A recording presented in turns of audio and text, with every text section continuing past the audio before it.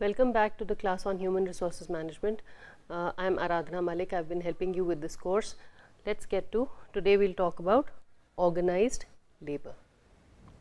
Okay. Some sources.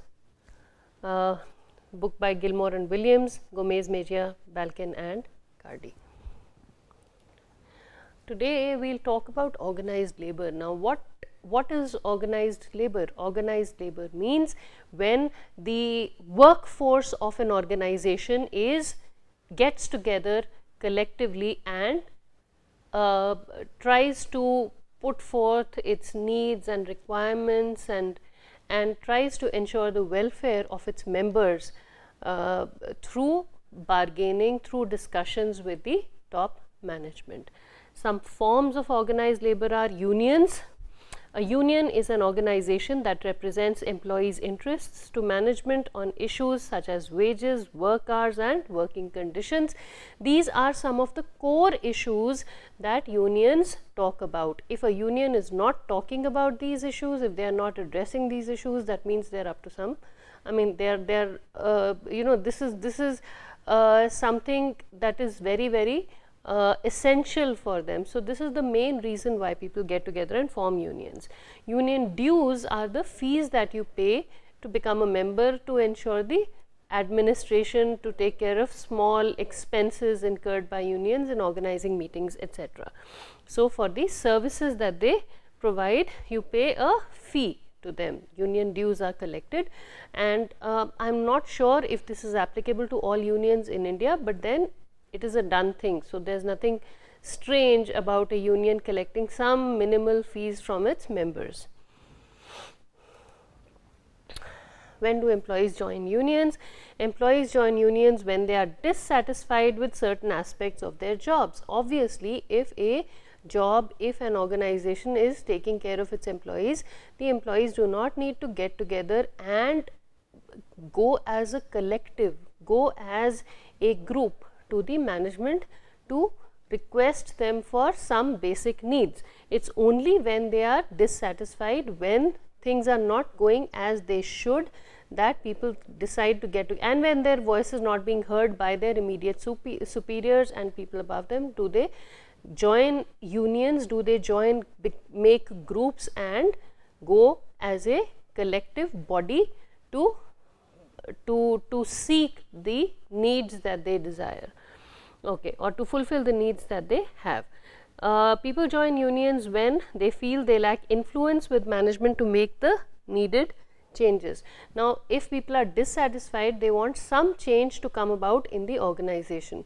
So, uh, people's needs may be heard, but for some reason no action is being taken on their voicing of these needs. That is when the employees get together and go and try and get some action taken on their communication of their needs. When we talk about change, we talk about a shift from the status quo, we, we talk about a shift from the current situation. So, when we talk about making changes, hmm, employees who lack influence with management to make the necessary changes. You request your boss to do something, you request your boss for leave, you request your boss for some flexibility. Boss says, yes, I understand, but I cannot do anything about it because the system is such. Now, when employees go together as a collective body, the management is forced to listen to them. The management is forced to take care of them and make the necessary changes. Okay.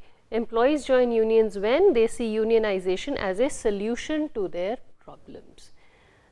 When people have problems, when number of people have similar problems that can be categorized and they want these problems to be taken care of and people are not acting on their requests, people are not taking care of their needs, their basic needs are not being fulfilled, that is when they go and join unions and that is when they get you know go as a collective body and that is when when they see it as a last resort. Nobody wants to join a group that is seen as a group that is working against or in competition with the organization. It is only when they feel they have lost their voice or when they feel that they are not being heard that they decide to go and join unions.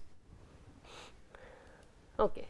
Some Indian laws related to in industrial relations and unionization can be found on this page. So, let us see here, I will just show you.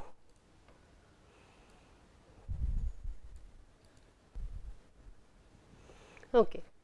So, we have various laws related to industrial relations, we have various laws that talk about uh, how the relationship or uh, between the employees, the employee bodies and the organization and the administrative bodies in the organization should be. So, there are various laws in India.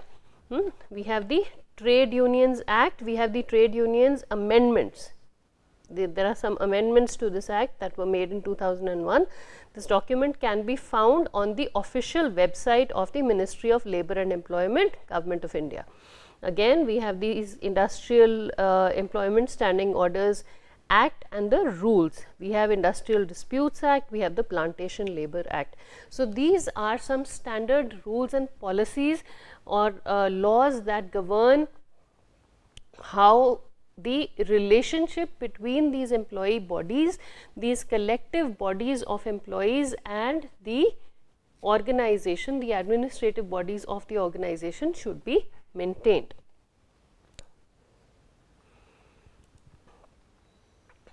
Okay, labor relations. Labor relations refer to this is a term that refers to the the overall relationship between the organization's administrative body and the organization's the body of the organization's workforce. So, people who actually do the jobs that are required to be done and people who ensure the implementation of rules. They ensure that the jobs are done the right way. Administrators are people who look at the implementation of rules and policies in an organization. So, they make sure they, they take care of the how of jobs. Okay.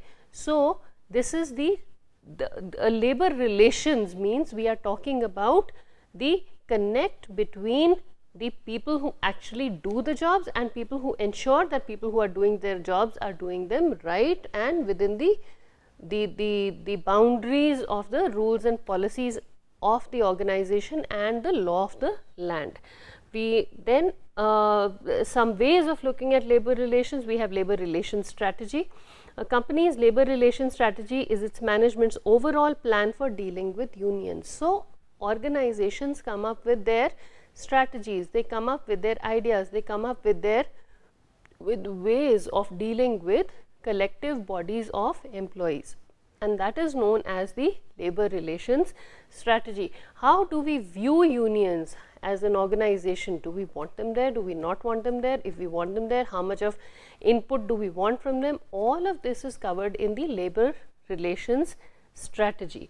Union acceptance strategy is when the management chooses to view the union as its employee's legitimate representative and accepts collective bargaining as an appropriate mechanism for establishing workplace rules. So, we assume that the unions will be there in the organization. How much? I mean, we accept them as a part of the organization's design. Hmm. We will have an administrative body and we will have unions who are looking after the welfare of the organizations. So, of the specific organization. So, when we if we have if our strategy is to accept unions as an integral part of the organization, then we build our human resources strategy around the union acceptance belief of accepting unions. Hmm. So, we say okay if the if there is already a body in place that is working for the welfare of the employees and that is looking at things from the perspective of the employees, we can always bank on their support to do whatever we need to do in order to ensure the welfare of our employees. So, we integrate the union and make it an integral part of the organization, knowing fully well that they can question the decisions taken by the organization also at some point. Again, I will give you these slides, you do not need to you know uh, try to read whatever is written here on the slide, but this is an example of a union acceptance strategy. How is this strategy written down in the form of a policy or in the form of a document of the organization whenever you have time this this is directly taken from this this book by Gomez Mejia Balkin and Cardy and it's a very nice way of of uh, you know informing the employees in the organization that we understand and accept that a union is in place and we will do whatever we can knowing that it is going to be a part of our organization. So, you know there is there is some sort of mutual support involved in this case. Whenever you get the slides, please go through the details of this strategy, but you do not need to bother about pausing your screens and reading it on the screen. It is in smaller font. I wanted to get the whole thing on one slide in one place. So, you would know that something like this exists. Okay. Union avoidance strategy is another aspect of labor relations strategy. We have the you know union acceptance means we accept unions as an integral part of the organizational setup. When we say union avoidance strategy, we choose, we select a union avoidance strategy when we fear that the union will have a disruptive influence on our employees or fear losing control of our workers to a union. So, we are not sure that we are doing the right thing or when we feel that we, our, our workers do not listen to us that much and if a union is formed there could be a strike, they could go against the organization, they could put unnecessary pressure on the organization because we ourselves are not strong enough. That is the time when an organization might decide to avoid unions altogether, but that is a very tricky situation.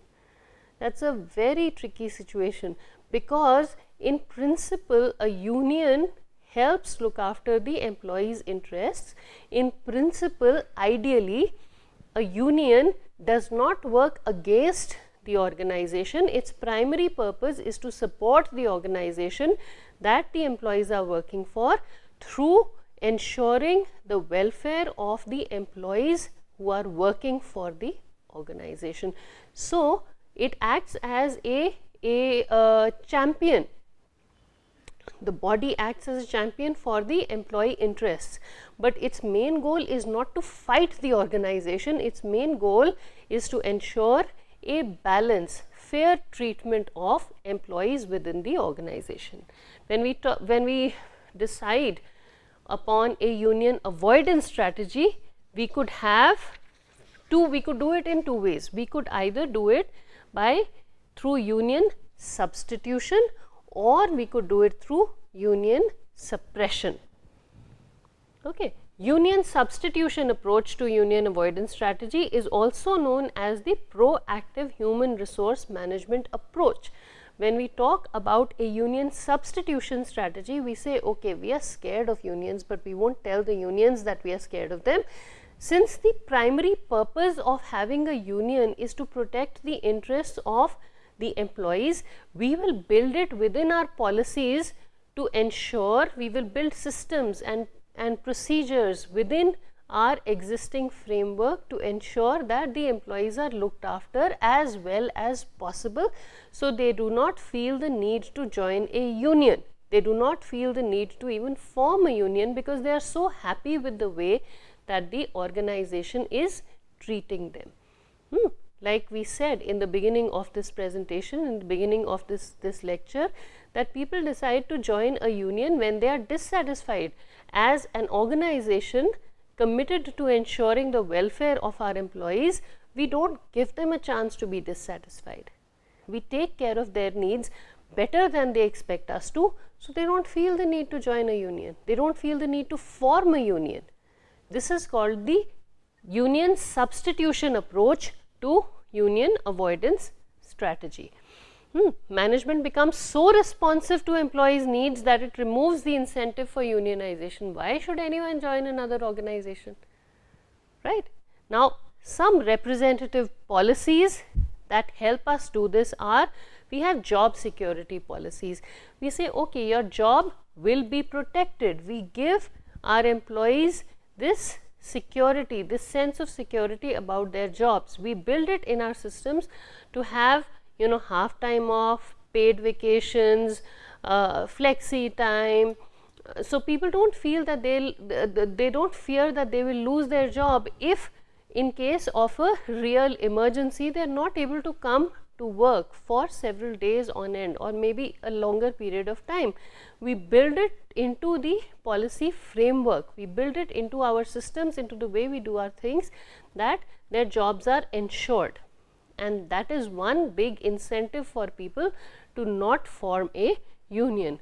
Then the other way we can do it is promoting from within instead of getting people from outside the organization to supervise the employees, we have the system of promotions from within. A pool of employees is there when the position above them becomes open. These one of the these people, the most deserving candidate is promoted and put into that senior position. So, people do not want to join a union. They know that if they work hard enough, everybody could have an equal chance of becoming a senior admin senior uh, employee of the organization. Then we have profit sharing and employee stock ownership plans. What is profit sharing? We have talked about this when we talked about employee benefits. The organization shares a part of whatever it makes with the organizer with the employees. Stock ownership plans have a risk there is a risk involved in employee stock ownership plans. If the stocks go down, if the value goes down, you end up losing money. But if the value of the stocks goes up and you decide to sell your stocks, you end up making a lot of money. So, it is like having a part of the organization. You own a very tiny fraction of the organization, so it is yours. So, you are invested in the organization. You work very, very hard to make the organization succeed because you will end up getting a part of the profit, you will end up getting a, a, a, a piece of the pie that is generated uh, because the organization is making a lot of money. So, that is another incentive for people to not join a union, everything is fair game. And they see these many profits, you know this is, this is the profit that the organization has made, this is my share and I am going to get my fair share. So, they do not feel the need to join a union. They feel satisfied in how the organization is treating them. High involvement management practices that solicit employee input into decisions. Many times we as employees feel that the decisions are made at some higher level and are imposed on us. Many times in many organizations employees feel that. However, in order to avoid unionization, it is always a good idea to solicit employee feedback, to solicit employee inputs on decisions, especially on decisions that are going to affect them and then include this feedback and make it a part of the decision making process. Include their inputs in forming, in making decisions that affect them. When employees know that their feedback is being actively, genuinely considered, then they feel uh, respected, they feel valued by the organization and they do not want to, they do not feel the need to join a union. Open door policies and grievance procedures that try to give workers the same sense of empowerment that they would have under a union contract. If an organization looks after the welfare of the employees, I know I am repeating myself, but I am saying this again and again if the organization ensures that anytime they have a grievance, anytime they feel that they have not been treated fairly, they are able to go up the ladder, they are able to go up the hierarchy and approach people who will be able to help them, which is something that the union would do for them, then they do not feel the need to join a union. There is an open door policy. Anybody can walk into anyone's office at any point of time. If employees feel that then they do not feel the need to join a union. They do not feel the need to to you know go into another body outside of their organization because they know that the organization is accepting them as part of the organization's family. Hmm, you are part of one big family that is the organization and you can you can talk to your superiors anytime and you will be heard. When you have that assurance you do not want to join a union.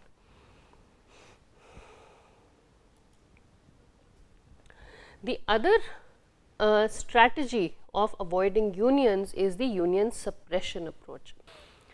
Management uses the union suppression approach when it wants to avoid unionization at all costs and does not make any pretense of trying to do the right thing for its employees. Union suppression approach refers to you doing everything in your capacity to stop the formation of unions. An organization is so scared of unionization that it does everything in its power to stop the formation of unions. So, it could have policies like you can't collect you know more than 10 more than 5 people cannot be sitting in one place at the same time. More than 4 employees cannot go out to have their lunch at the same time. So you stagger things.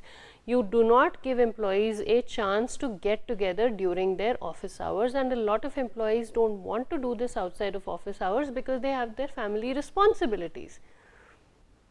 So you stagger their lunch times you don't have common areas where they can stand and talk to each other. You monitor their emails. You make it known to them that the LAN connections will be monitored and even even a whiff of any unionization any collective activity is immediately snubbed. You don't have parties. You don't have get-togethers. You don't have meetings so that people don't get a chance to get together and talk. You try everything in your capacity to stop the formation of unions Okay. So, this is called the union suppression strategy. Now, one big risk of this is when people know that their basic right, basic human right of talking to, of connecting with others who are of the same opinion as they are, other like minded individuals is being suppressed, then they might revolt. This strategy has a very high chance of backfiring. Union substitution strategy on the other hand is a very nice strategy of keeping your employees happy and avoiding the formation of unions because unions if they get they are formed with the sole purpose of creating trouble which is in very rare cases but it has been known to happen in that case of course you can't do anything but and they, they can be they can be suppressed very easily through legal measures. But otherwise if you keep your employees happy they don't feel the need to get together and you know go I mean stop their work which they enjoy and go and uh, you know go against the organization or go as a collective body to the organization to argue for their needs. If they do not have any impending needs uh, from or, or if they do not have any they are not dissatisfied in any manner, then they will not go and join a union. Okay. How do you manage the labor relations process? You can manage the labor relations process through three different methods. You could do this through union organizing, you could do this through collective bargaining and you could do this through contract administration. We will deal with these three in the next lecture. Thank you.